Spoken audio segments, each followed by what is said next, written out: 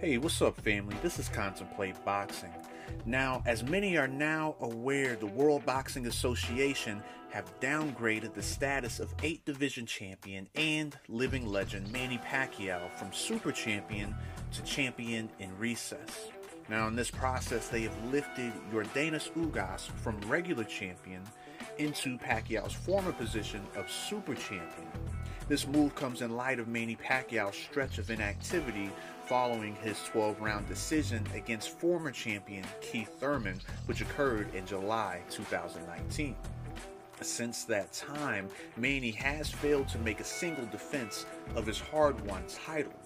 Now, for his part, Ugas has had difficulty securing the bouts that he truly desires in the welterweight division.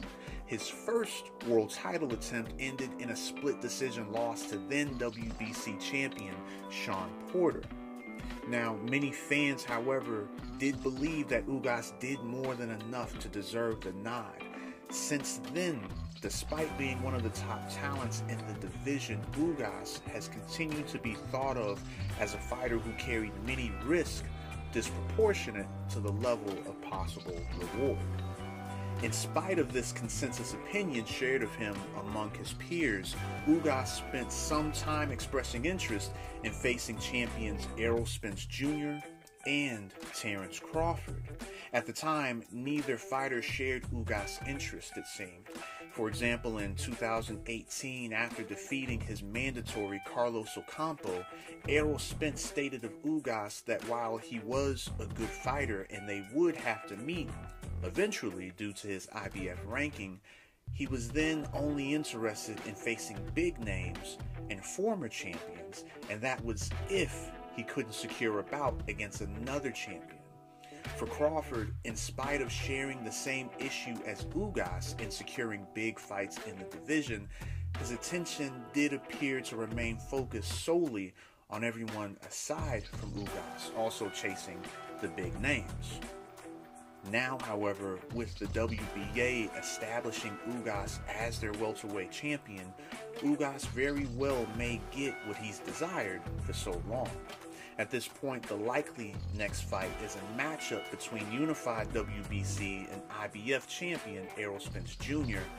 and WBA champion Yordenis Ugas. This bout would bring the division's fractured undisputed crown nearly to completion with only one piece missing. At this juncture, I can't help but feel that WBO champion Terence Crawford has likely missed out by being unable to secure the bout against Yordenis Ugas previously. Now, this is just a personal opinion, but I do believe that if Terence Crawford had been able to secure the bout with Yordenis Ugas and gain a victory over the avoided Cuban, he very possibly could have been holding the WBO and perhaps the WBA title by now. Because previously, Yordenis Ugas did fight in a bout for the vacant WBA regular title. Had they both fought one another, then both the WBA regular and WBO titles likely would have been on the line. Had Terence Crawford defeated Yordenis Ugas, then he possibly could have been the one listed as the WBA regular champion and uplifted into the status of super champion once Manny Pacquiao was restatused as champion in recess.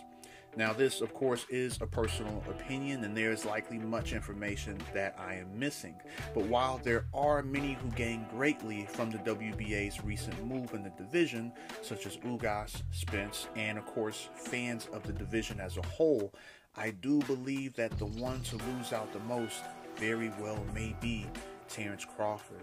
Fight family, let me know what you think. Was there more that Terence Crawford probably could have done or should have done to secure the fight with Yordenis Ugas previously? Uh, who do you think will win between Errol Spence Jr. and Yordenis Ugas should this fight actually come to a head? Fight family, let me know what you think. Hey, y'all take it easy. God bless. Peace.